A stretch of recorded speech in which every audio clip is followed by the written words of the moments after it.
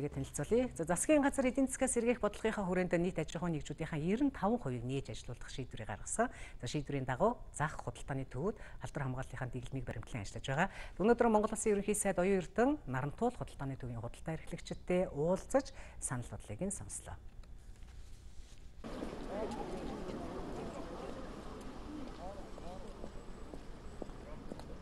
Хэдийгээр ажиллаад эхэлсэн ч гэлээ борлуулалт тааруухан байгааг Нарантул худалдааны төвийнхэн хэлж байлаа.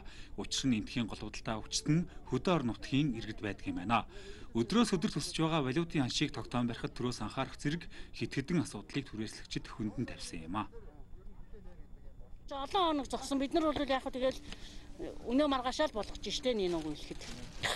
Хүндэл Монголынхаа тэглэмийг сайн бариад, зайгаа бариад явахгүй бол буцаад хаагдах нөхцөлөд үүснэ шүү дээ, тийм ээ. Хэдүүлээ бас тэгээд аль аль нь эрсдэлтэй бас зоримог шийдвэр гаргаад явж байгаа. Таад мандаа хичээгээрэй. Бараагаа аль болох хямд зархыг л хичээн биднэрт нөлөөлж байгаа бас гол хүчин зүйл валютын ханш маш их нөлөөлж байна.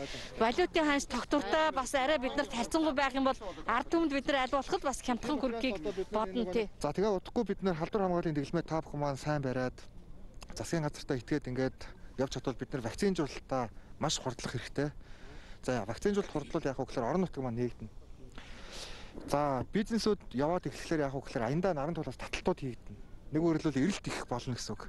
За энд нь та бүхэн маань нийлүүлэлтээ гаргаад а нөхцөл байдал бол сайжирна. За ингээ микроавтобус явж эхэлнэ. Энэ урсгалууд буцаад нээгдэнэ. Тэр болтол нэг 2-оос 3 сарын хугацаа байна. Бид нар өдөр шөнөгүй ажиллана. Итгээрэй.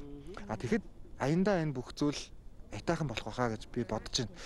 Тэгэхээр мэдээж өнөөдрийг хүртэл ингээд та бүхэн маань маш хүнд нөхцөл байдал дундуур яваад ирж байгаа. За юутэйч бид нөр өнөөдөр нээгээд ямар байдалтай байна гэдгийг би бас одоо анхан шатн дээр нь хараад ингээд үзье гэж ботсон. Мэдээж хүмүүс баг байна. Яг л орон нутаг байхгүй, микроавтобус байхгүй байгаа учраас. Гэхдээ энэ хаалттай байснаас дээр ингээд баг багаар урсгалууд нэмэгдэн тийм ээ. Засгийн газар жижиг дунд бизнесийг дэмжих хүрээнд 3% хүүтэй зээлийг арилжааны банкар дамжуулан олгохоор шийдвэрлсэн.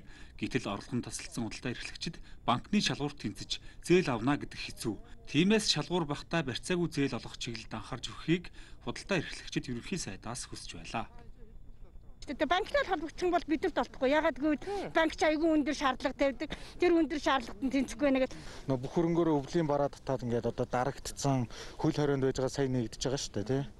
Тэгэхээр бас нэг бидрийг дэмжиж бас нэг барьцаа өрөнгөө, барьцаатай хүн байна, барьцаагүй хүмүүс байна. Арилжааны банкар дамжиж хийх хэрэгтэй. Тэгэхгүй бол нөгөө одоо бас төрийн байгууллагууд танил талдаа өгдөг гэдэргээд нэг юм шүүмжлэлтэй асуудал байдаг.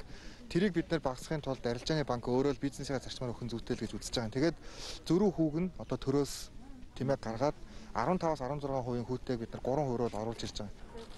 Засгийн газар иргэдийнхээ эрүүл мэндэд хамгаалах бодлогыг эдийн засгаас сэргээх бодлоготой хоршуулн хэрэгжүүлэхэд үе шаттаагаар анхаарч байна. Цаашдаа худлаа эрхлэгчдийн гаргасан саналуудыг бодлогын төвшөнд авч үзнэ гэдгээ ерөнхий сайд энэвээр онцлсан юм а.